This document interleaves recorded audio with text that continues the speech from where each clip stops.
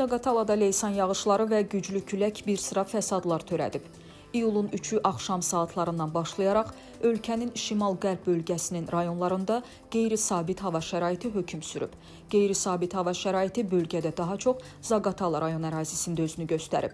İyulun 4-ü gecə saatlarında rayonun dağlıq ərazilərinə yağan leysan yağışları nəticəsində rayonun mənbəyini dağlardan götürən çaylarında suyun səviyyəsi ötən günlərə nisbətən kəskin artıb.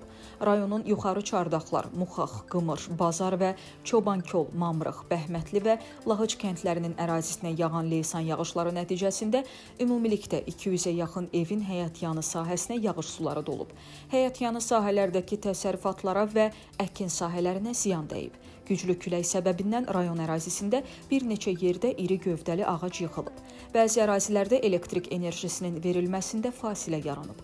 Hazırda aidiyyatı qurumlar dəymiş ziyanın aradan qaldırılması istiqamətində işlər aparır.